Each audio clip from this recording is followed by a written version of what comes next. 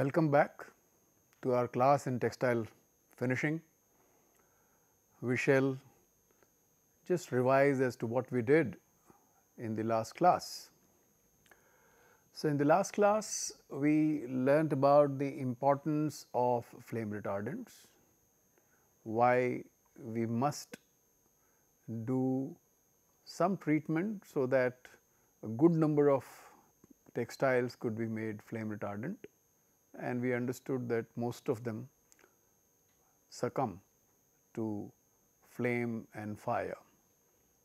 But what it means therefore is that they actually are fuels. We also learned that this whole burning process is thermo oxidative process. So, you have to give certain amount of energy to initiate, then you need some oxygen and then this process starts. And finally, you have combustion where you can see the flame, most the activities are in the gas phase. So, there is a fire triangle and uh, the strategies which one has to adopt is whether at what level at the condensation level or at the gas phase level we must in intervene uh, so that the flame is not propagated. So, that is how we learn some strategies to break the burning cycle. We also learned general mechanisms which we called as condensation phase mechanisms or vapor phase mechanisms. So, condensation phase means that the flame retardants will during the burning process alter the process of burning you know path of decomposition. And the vapor phase is where all the gases are now there in the vapor phase, free radicals are being formed and so you have to worry about either the free radicals or the heat released has to be taken away. All these things therefore become quite important. Of course, there can be some flame retardant agents which may be working with both the mechanisms. So, it is possible. Also we did learn something about chemistry of some of the fire retardants. Today we will go a little further and learn little more about the fire and flame retardant compounds and also will dwell upon as to how flame retardancy is evaluated.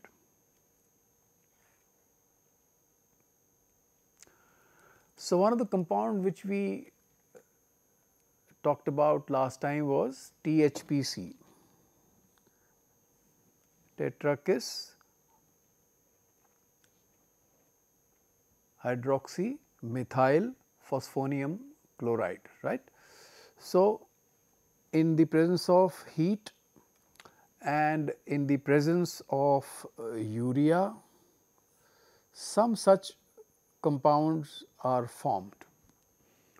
So, it is a large molecular compound and one can neutralize this also with another alkaline compound maybe you could use ammonia itself. If you use ammonia uh, then you can get cross linked products. If you use THPC, urea and also ammonia which we neutralize so that chloride part will be taken care of.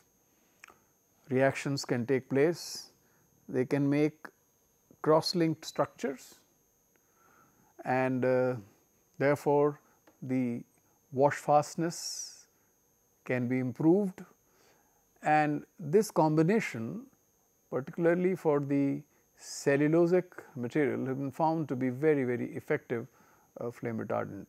Obviously, we can appreciate this works generally by the condensation phase mechanism. Another process which was commercialized and was known as a Proban process also used THPC. Okay. This Proban process also used THPC.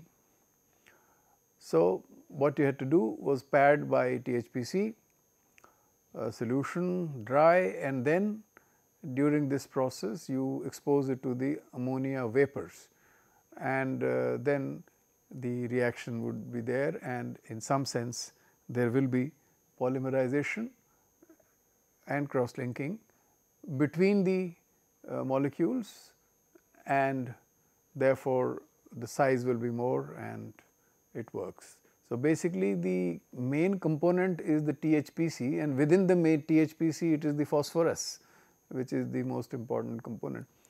So, one would actually like to have as much phosphorus uh, as possible in a compound. The more it is the better it will be this is expected because this is the active uh, compound from the condensation mechanism point of view. We learn little more about uh, some uh, compounds uh, which are phosphorus compounds, but you want to make them reactive so that they can react with the, the, the substrate and so will be permanently present till it is required when actually fire happens. You see we expect the fire is not going to be happening every day, you see it will be once in a while and that will be the last time the fabric is going to be used.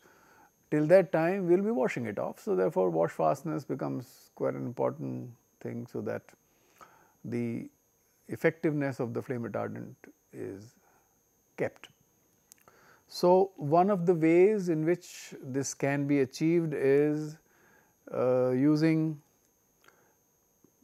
our tried and tested you know group called the triazine group you know this triazinyl group you are familiar these type of groups are used for uh, reactive dyes you know uh, monochloro dichloro type of reactive dyes one can use and therefore uh, reactions can occur from here in you know approximately alkaline conditions for the hydroxyl groups like the cellulose has hydroxyl groups or they can actually have reactions with amino group amino end groups of protein based fibers.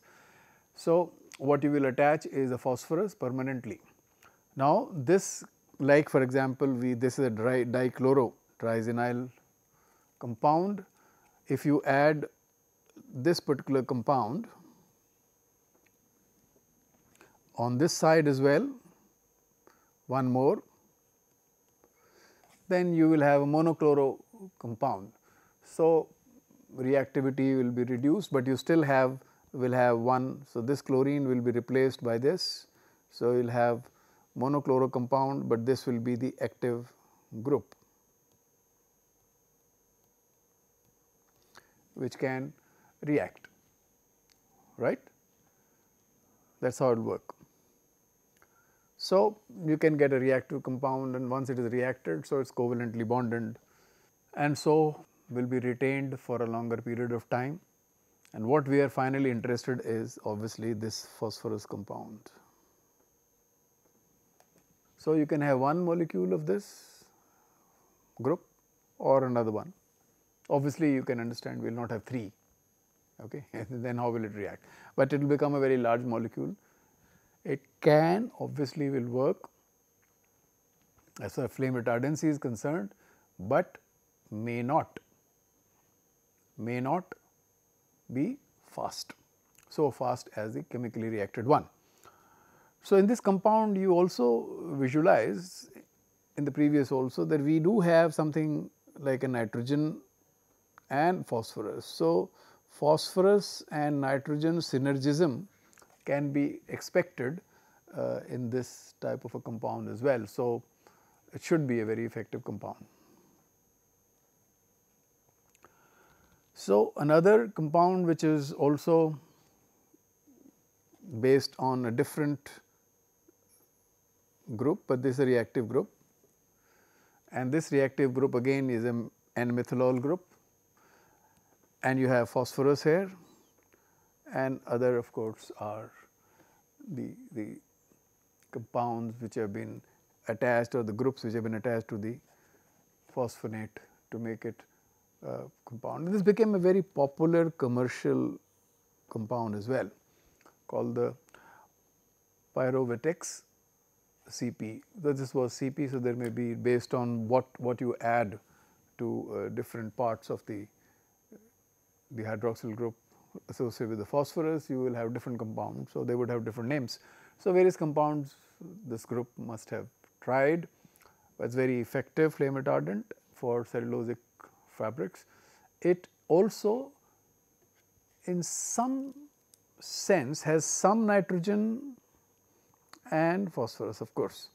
The phosphorus is the main compound, nitrogen is the support system which people believe that it works as a synergistic effect. It is also supposed to work obviously by a condensation phase mechanism. Interesting compounds where the phosphorus still remains the key, but you have this group which we are referring here as Z.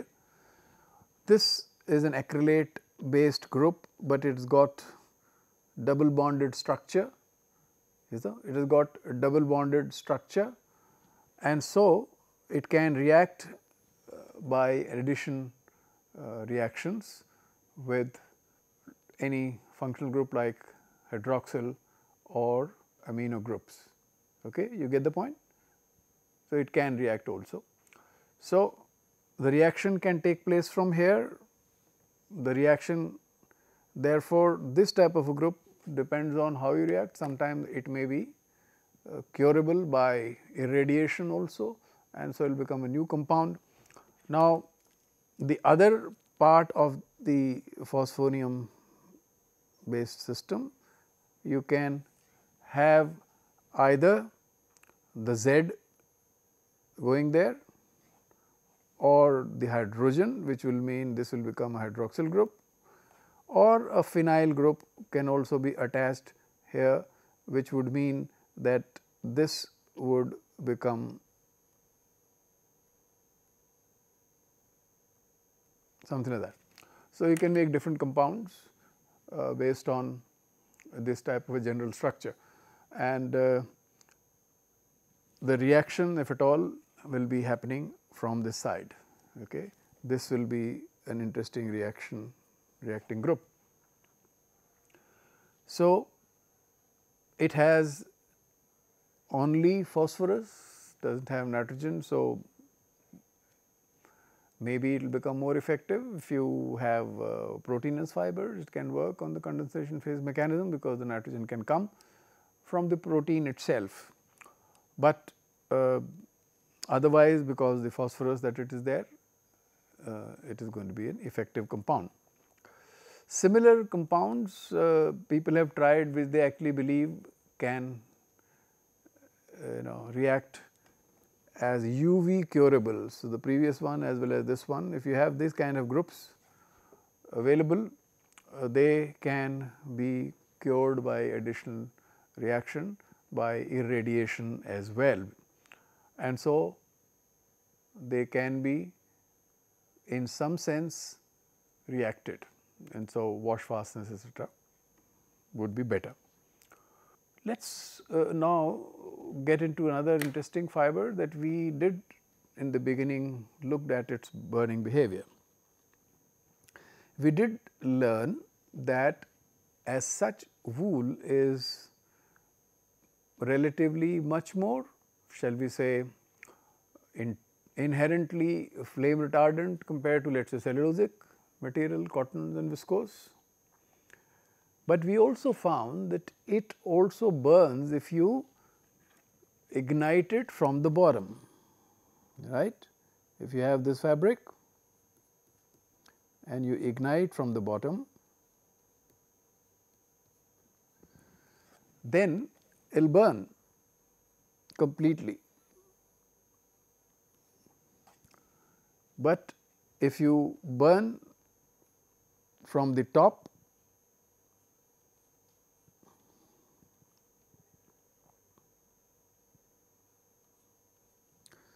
then it may stop, it would stop actually burning if you burn from the top. So, why it burns on the bottom remember because the heat obviously and the hot air and the flue everything has a tendency to go upwards. So, it becomes more and more vulnerable to this burning process. but from the top when you burn it is the slowest in this kind of a test. And so, if the fiber resists which the wool fiber resists then it gets extinguished the flame get gets extinguished. So, this is how the burning behavior, but what it therefore means is if you really are interested in making the woolens also safe you will have to treat them. You cannot rely on this small little resistance that it offers uh, and say well everything is fine from the flame retardant point of view that is not true. So, why does it behave in this manner that is it is relatively more resistant from polyester, from silk, from viscose, from cotton. Why? So, one reason one can appreciate is that wool is covalently linked as far as the intermolecular linkages are concerned which other fibers are not. So, that can provide some resistance through the disulfide link. Also it is presumed that sulfur is also going to play some role and in some cases it has been also seen that if sulfur is also present for example, in nylon if sulfur is present it becomes flame retardant as well. Therefore, phosphorus plays a role, sulfur also has to play some role and uh, wool has sulfur, it has got cross links and together, together it becomes relatively more flame retardant.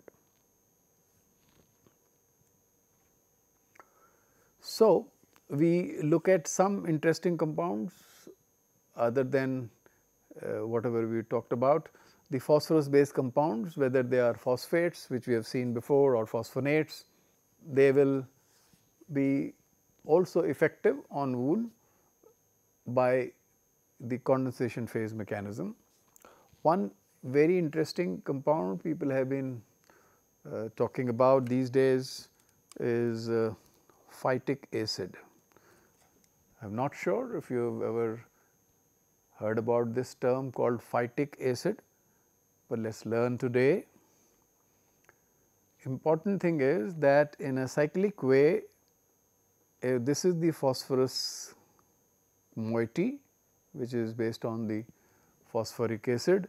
This is all over everywhere. So, this is repeated this, this is we call Z, the Z is there, Z is here, Z is here, Z is here and Z is here. So, all over there is Z.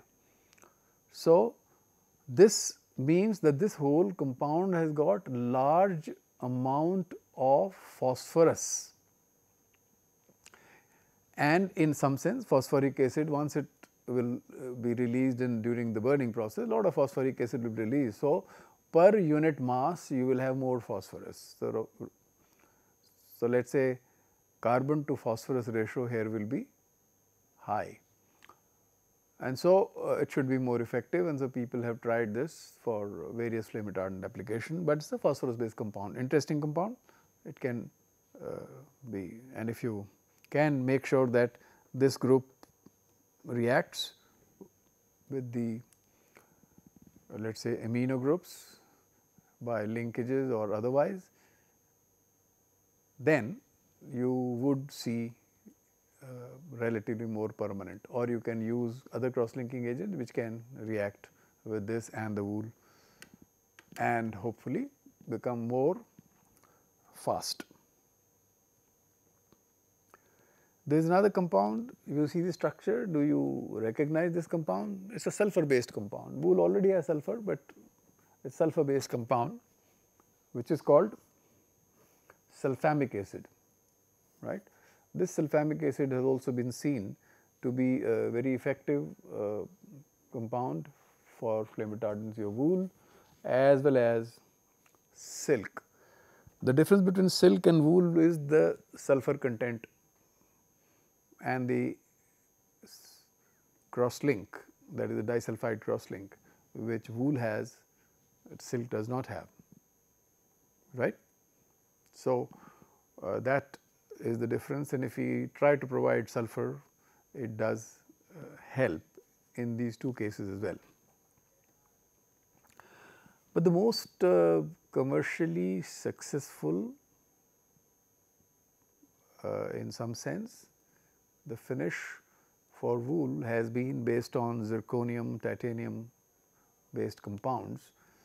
And uh, it was developed by IWS and called the Zirpro finish. It is expected that in the acidic condition wool would have a positive charge and this compound the fluoro compound with the zirconium and titanium are negatively charged. So, they do get attached to the wool pH may be if around this pH or maybe around that. You can theoretically do exhaust dyeing as well as exhaust this finish agent finishing agent uh, along with the dyeing. So, you can have dyeing as well as finishing together as far as this particular compound is concerned a very effective flame retardant uh, it has been seen and works very well. Other compounds also have been uh, tried. Uh, one of these compounds which suggested which is called the TBPA tetrabromo uh, phthalic anhydride. So, you have this anhydride and there are bromine groups all over. So, the bromine groups obviously are suggesting to you I hope understand that they are going to be released in the flame and they will be more active in the gas phase when the burning and so will be less active in the condensation phase. But such type of compounds can be for the blends uh, of wool and polyester for that matter can still work. Before we finish the uh, flame retardant uh, finishing topic, let us look at uh, some synthetic fibers also. Now, synthetic fibers the names we know, what are the names? Polyester, nylon, polypropylene, they very easily burn. But important thing is they melt and drip.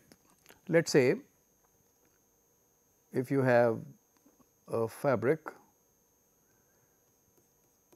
being burnt from the bottom. So, as it burns obviously rapidly, but because these materials melt, let us say a polypropylene will melt somewhere around 170 degrees, uh, nylon 6 for example at 210, 215 degrees centigrade, the polyester around 250 to 260 degrees centigrade. Now, if they are softened and they are actually melt, so there is always a possibility because the heat is going up before the burning takes place of the polymer, before the polymer actually starts burning at temperatures which are obviously less than 250 degrees centigrade, the burning has not started. If the portion of the fiber melts and then breaks away.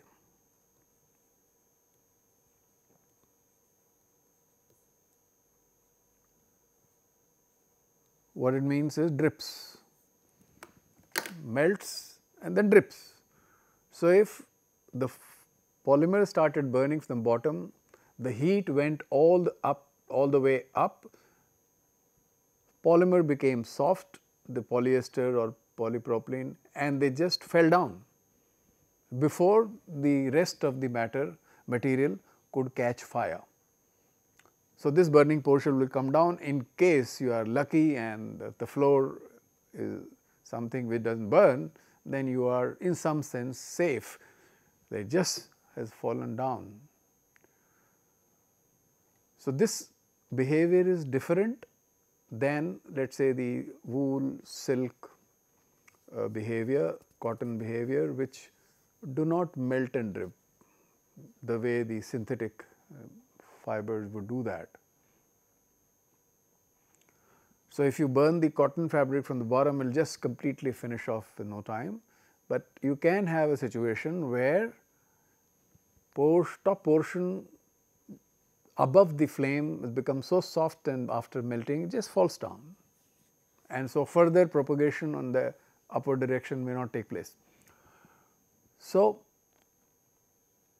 in some sense you can say well they can extinguish because the top portion is burned. So, it may not keep supporting, but if you do it from the top then obviously everything will burn because then you have the solid thing over which the, the burning and the flame is there.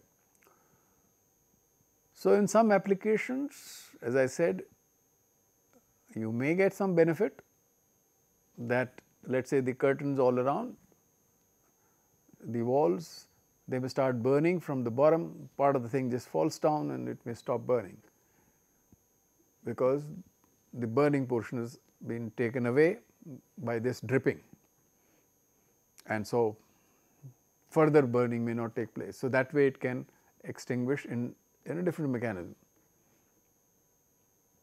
But can we call this as safe? Obviously not, it is burning. Okay. People may say, well, this is uh, you know safe in that sense, but it is not true actually. And difficulty also comes, you know, people also sometimes say the cotton fabrics are safer uh, in, from the point of view of flame retardancy. Uh, only one reason is they burn very fast, so there is no safety there.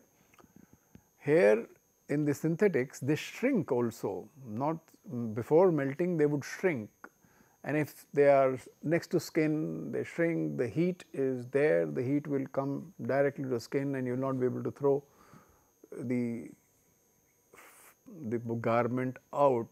While in the case of let us say cellulosics you may be able to remove something which is burning. It is not sticking. Not that there is not going to be damage damage is going to be there. So, they will be from wearing point of view they will shrink and actually uh, transfer all the heat to the skin and the body. So, nothing is safe here. So, you have to treat them.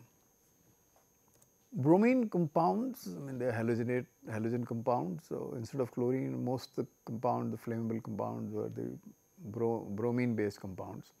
They are very successful compounds as far as the flame retardancy is concerned. This particular compound you can see uh, has got so many bromine atoms and so when, when the degradation will start this compound will degrade and release let us say the that HBr and so you would have that free radical quenching okay and so flame will not propagate further. So, very very effective compound it could work because works on the gas phase as long as the compound is on the textile it will go up in the flame and extinguish the flame. Some of these compounds can be added during the manufacture of the fibers also as additives, they stay there. So, they become more permanent in that sense. So, once they are there inside, they will not be leached out every time you wash and would be available when it is actually required. But that is a process which has to be conducted by the fiber manufacturer, not the textile finisher. Okay? That is what uh, we talk about. Another very interesting compound which is uh, phosphorus compound. Why we again wanted to go to the phosphorus the phosphorus and bromine combination also can be an interesting compound. So, part of it will work by the condensation phase mechanism, the other part would work with the vapor phase so, you have a dual action right.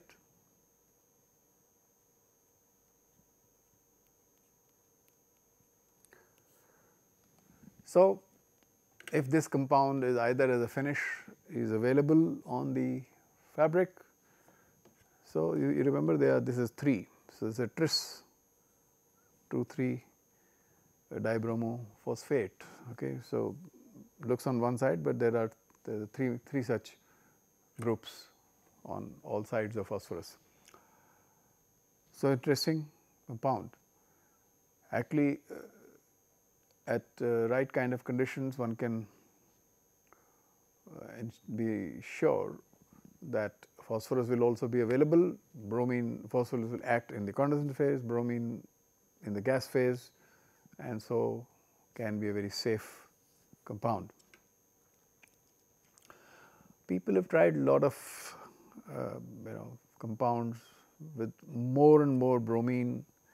This is one another compound which is hexa bromo uh, cyclododecane hmm, HBCD and so uh, is got this bromine can be you know little flexible in whichever type of a area they are there they will be released. So, the question that remains is if you want the thing to be more effective then you got to have let us say if, if you want to work in the gas phase then more bromine type of elements would be there. With time people have uh, somehow not happy with the halogens, but they are very effective flame retardants, but from the environment point of view uh, the halogens as long as they are attached there is no problem, but even when they burn out the gases that they produce the mechanism is very clear, but people feel that this is not a good idea. So, a good number of organochlorine compounds or organohalogen compound like bromine based compounds, they are very successful in the gas phase and very good flame retardants.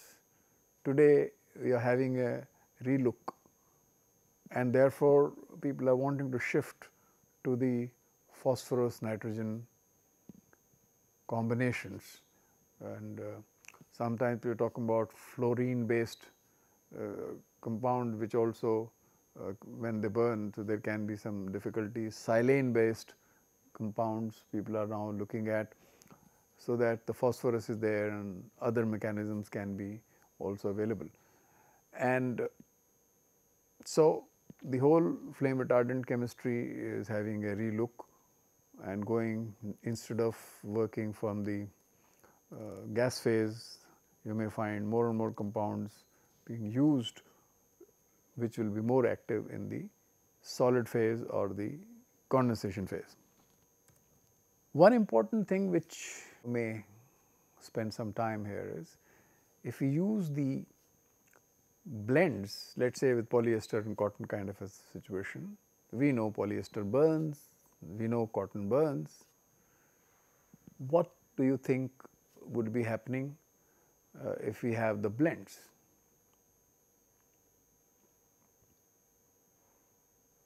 Okay. If suppose we have a blend of polyester and cotton or polyester and viscose and you burn, what would you expect?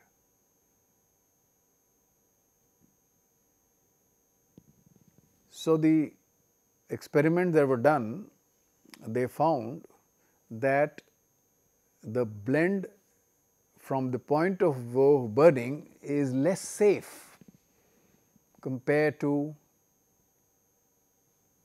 the two fibers. So, actually, actually both fibers are not safe, but the blends is worse. Why? Because one of the mechanisms which we thought when the polyester burns it can melt and drip, but when cotton burns it does not melt. But when cotton and its ash and the micro the structure is available, the dripping of the polyester does not take place. In fact, the cellulose based char becomes like a scaffold and holds the polyester there and there and so polyester also burns more. Together they burn more faster, more dangerous. So, you have to treat both that is one important thing you do not have to have situation where you treat only one and the other is not to be treated. So, in general we understood that some of the compound which were there which we talked about can work uh, for the synthetics as far as the bromine are concerned they will work for synthetics, but if we do not want bromine then phosphorus nitrogen based combinations will have to be tried. One interesting uh, compound is thiourea. It has got sulfur and it has been found that if you apply thiourea in, in some measure, the flame retardancy of nylon improves tremendously. We talked about sulfamic acid, yes it does. The thiourea also has sulfur and it works very well. People have suggested that in case permanency is required maybe you could make a thermoset resin with thiourea and formaldehyde. Well, formaldehyde is one problem that we have seen earlier, but it can be used, right. So, how do we apply? Well, we have simple in case we believe it is a permanent thing which we want some reaction to take place the best is pad dry cure conditions if they are N-methylol type of groups you know what conditions and uh, if you have uh, one type of a surface which has to be treated one way and the other way then you can do the spray and dry.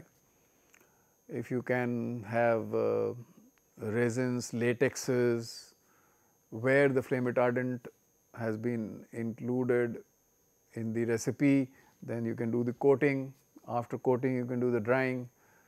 And of course if you have uh, UV curable resin then you will say well I will do pad dry UV cure right. So, you will want to some reaction to take place some polymerization some networking within the molecules must take place so that wash fastness is also improved. So, curing is important in all cases whenever permanency will be required. Although this part of uh, discussion does not form the part of finishing, but is more towards the chemistry of the fiber itself, more related to the chemistry of the fiber or the chemistry of an additive which let us say during the formation of a fiber, I am talking about uh, manufactured fibers whether synthetic or regenerated. You can add the flame retardant during the manufacture itself either as a comonomer or as an additive. That way definitely there will be more permanency,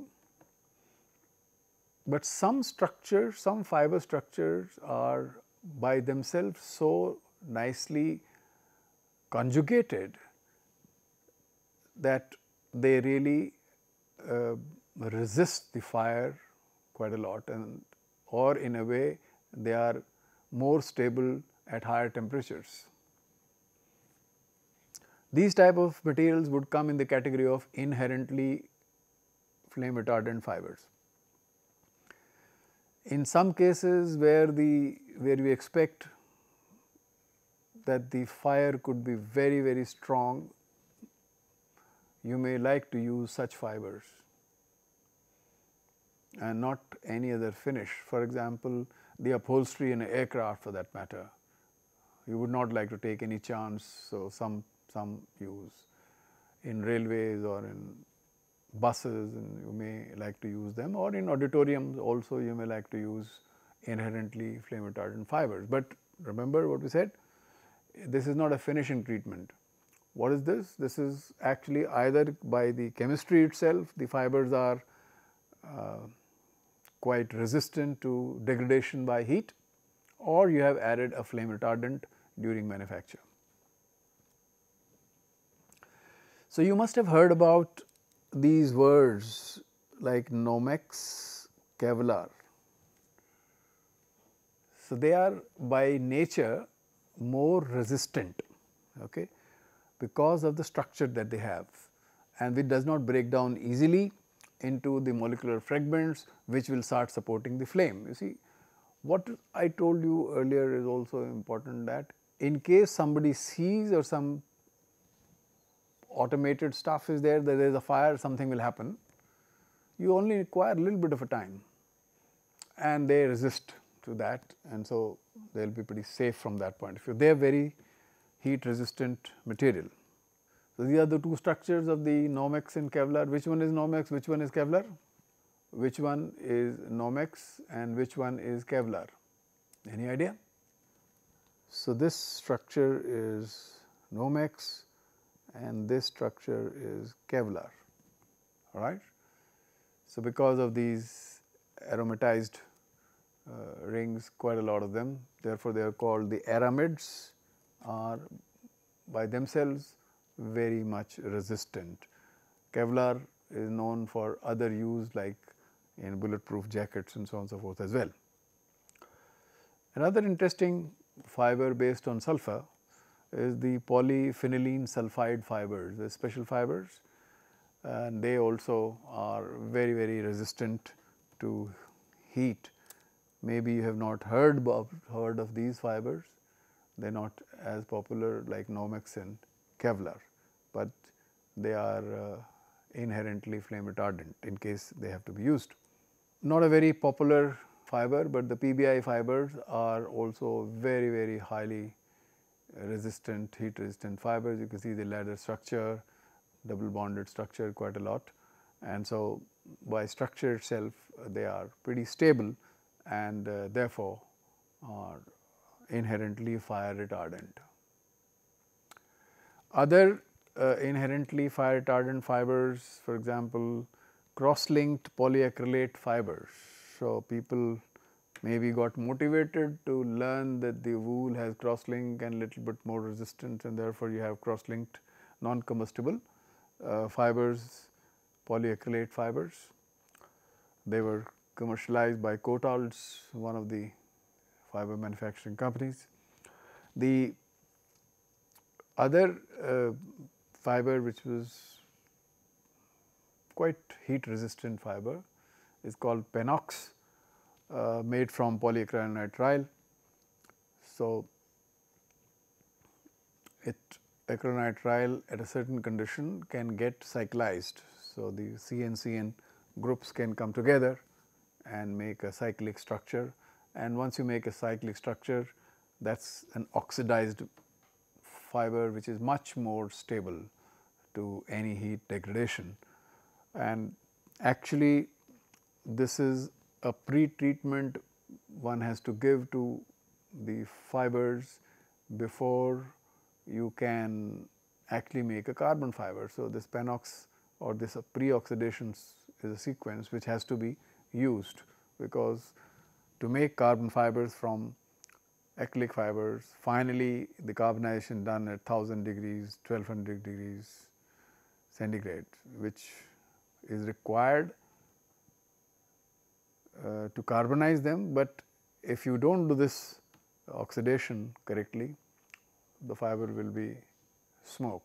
You can now appreciate carbon fiber can withstand 800,000 degrees centigrade more also. This is one example where uh, the either the organophosphorus compound. Now, remember one thing it does not have bromine now, no bromine, but it has got organophosphorus compound which are either additive or as co-monomers during the polymerization itself can be added. So, one uh, fiber which we know for example, is an inherently flame retardant polyester fiber, uh, where the flame retardant in the fiber itself during the manufacture either the polymer during polymerization stage or during the uh, spinning stage during the melt one can add these compounds and so is becoming more eco friendly as well you can understand bromine is not here. Finally, we come to what we call as an evaluation. So, there are standard tests available for evaluation.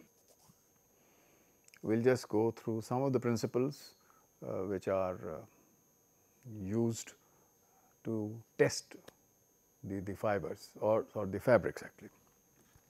One is the vertical flame test. You saw a small little video before which where the test was being done. A vertical flame test is one of the very severe tests. A fabric can be subjected to.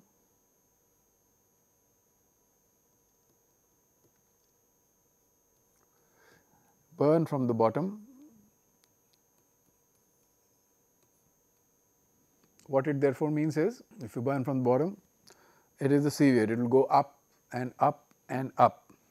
So, if you burn the fiber for a certain period of time, fabric for a certain period of time, remove the flame, remember definition, remove the flame and then measure. If it extinguishes or it does not. So, even if it is a flame retardant fabric, it may burn up to a certain thing and then you can measure the length or time, how much time after flame has been removed it gets extinguished or after glow time if it is a cellulosic based material I told you you have seen it also you see some glow which at that point the temperatures are pretty high and so you uh, check them the time. So, that is how some of these parameters can be measured.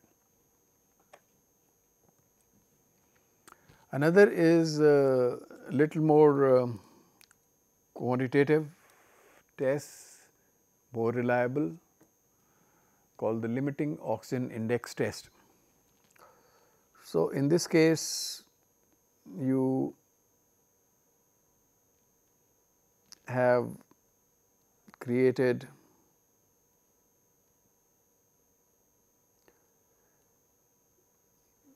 system where you can change the environment. Let us say the sample has been mounted inside a jar. This jar, this is the sample and you pass two gases oxygen and nitrogen you know nitrogen does not burn, oxygen helps to burn, right. So, mixture in the normal environment we have approximately about 21 percent oxygen, rest is nitrogen and other gases, all right. Now, what we have to find out is how much minimum amount of oxygen is required to burn the sample and remember in this test the burning is from the top. So, you have a flaming jet which will be brought in so that you start the burning from the top. This jar will ensure that the gas or mixture is coming which you monitor. So, all over here is the mixture of the nitrogen and oxygen. This proportion you can vary by different control systems. You will have control systems and you open the valve accordingly and measure okay, how much uh, is going into the chamber or this glass case and then see the burning behavior. So, one important thing is you are burning from the top. So, this is the slowest way of burning.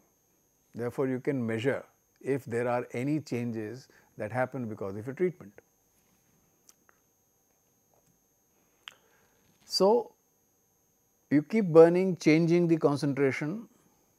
If the concentration is low, it will stop burning. You increase the oxygen concentration, at a level will start burning and the burning does not stop till all the fiber or the fabric has been burnt out. That is the minimum level of oxygen required. Let us say cotton, if you burn from the top, you saw it burns because its LOI is let us say cotton, the LOI value may be near 18 and you have oxygen in the environment which is 21 percent. So, there is no way it could sustain all right. Wool on the other hand has an LOI close to 25 percent 25 value 25 value is more than the available oxygen in the environment. So, if you burn the wool fabric from the top, it would not burn, but rest of the fibers, fabrics can burn depending upon whether they are above the 21 percent or below the 21 percent LOI value if you use this particular test.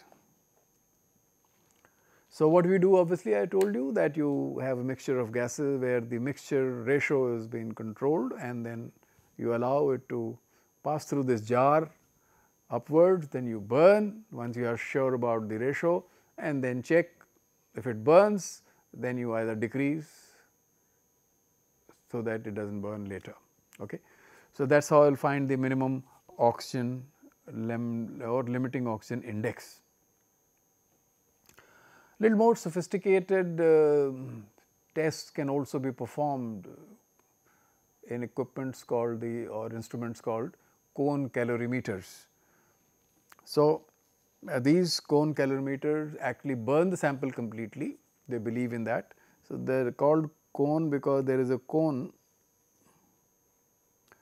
where there are heating elements and certain amount of heat flux is generated, a certain temperature is generated which could be 400 degrees, 500 or whatever. And theoretically uh, there is a platform or a sample holder which is on some type of weighing machine. It is burnt because the heat flux is coming. After the burn happens, then there will be flame, gases, etc. They will go through the exhaust and they can be collected at some point to do certain measurements. If you want to find out how which gas has been evolved or which is more evolved than or which is less evolved. Things like carbon monoxide you may be interested, carbon dioxide you may be interested. You may also be interested in other gases like nitrogen dioxide or sulfur oxides of sulfur.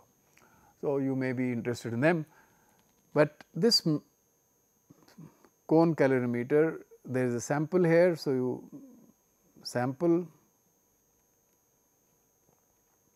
you place it this is the cone heating cone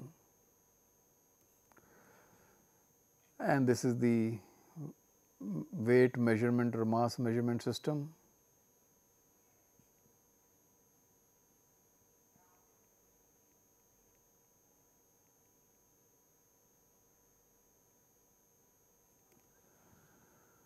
And so, you can measure rate of heat release, you can measure uh, reduction in mass with time as it is burning. You can also see how the carbon monoxide, carbon dioxide, other gases are formed. If you have you smoke density measurement system, you can measure how much is the soot or other things or percentage obscuration can also be measured. So, this instrument in some sense relies on oxygen consumption so, whenever they measure how much oxygen is going in the exhaust, if the oxygen is less that must have burnt more or used more. So, oxygen depletion otherwise if exhaust goes in certain way then certain amount of oxygen must be always there. If it is less than that then there is a depletion which can be related to how, if so much oxygen, so much oxidation products and that means whatever you are going to be getting the heat flow. So, this is what they do a final word here. Will the construction of a fabric make any difference in the burning behavior, the chemistry being the same? Very lightweight fabric versus a very tightly woven fabric like a canvas, you think it will make any difference? Of course, it will make a difference because you say you require diffusion of oxygen for the burning also. So, if it is very open, oxygen is available everywhere like a ball of just cotton fiber for that matter. They just burn like this because everywhere there is oxygen. But if a dense tight constructions, the inside will be relatively more difficult to penetrate and so you might just have less of burning or the rate of burning may be slow. It does not mean they are safe, but construction would have some effect. Okay.